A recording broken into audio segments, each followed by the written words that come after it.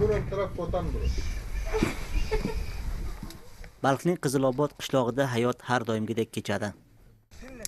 O'yin maydonida qishloq bolalari o'yin o'ynayaptilar. Biz bu qishloqning sirini fosh etish uchun yo'l oldik. Oilasini bularning hammasi roketdir bir ikki uch to'rt hammasi bo'lib tomimda yetti roket bor Biz boshqa xonaning tomi ustini ochib ko'ramiz. U neshar foiza hayrat bilan tomga qaraydi. U bor umrini rokitdan to'la bo'lgan tom tagida o'tkazgan. Ammo bugun anglaganga o'xshaydi. Butun tomning usti sho'ravlar urushidan qolib ketgan rokitlar bilan yopilgan. مردم قریه مثل این خانواده Qizilobod aholisi bundan 30 yil oldin sho'ravi askarlari chiqib ketganidan so'ng bu roketlarni o'z mahallalari yaqinidagi ruslar zaxiragoyidan topib uylariga olib kelishgan. کسی که امکانات جور کردن نداشت از این har kim imkon topib o'sha qiyin vaziyatda roketlarni uylariga olib kelishga harakat qilgan bunday uylar 30 yil davomida shu ahvolda saqlangan Bu ruslarning eng yaxshi ko'rgan quroli edi. Ular bir otganda bir qancha roket ketma-ket nishonga yetkazilardi.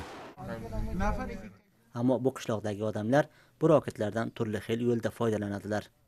Darvozani to'sish, oshxonada, uzum toklariga chayla va hatto ko'prik sifatida istifoda qiladilar. Ammo bu ham o'z yakunini topadi. Qishloq ayollari bir mushkul qaror olish uchun yig'ilishgan. ularning yuzlarida hayrat va tashvish hissiyotlari namoyon ular o'ylarining tepasidagi roketlar qanchalik xatarli bo'lganini endigina bilishadi.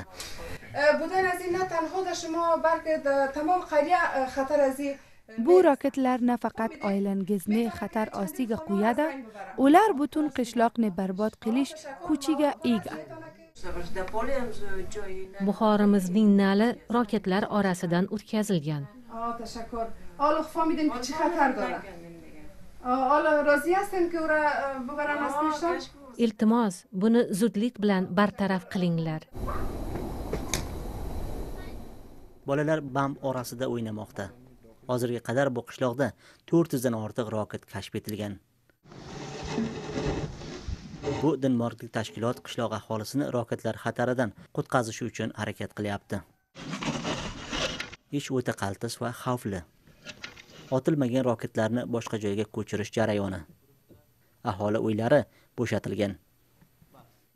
Agar balahezi fishor mavjud shava yo agar bular bosilsa yoda harorat teksa portlab ketishi mumkin. Birtasi portlaganda butun uy va nechatasi barcha qishloqni barbod qilishi mumkin. Uzoq muddatli bir urushning qoldiqlari yig'ishtiriladi. Roketlar olib kelingan joylariga qaytariladi. Sobiq sho'rovi bilan Afg'oniston o'rtasida bo'lgan chegara yaqinida to'planiladi. Va uch daqiqadan so'ng roketlar portlatiladi. Portlash, portlash, portlash.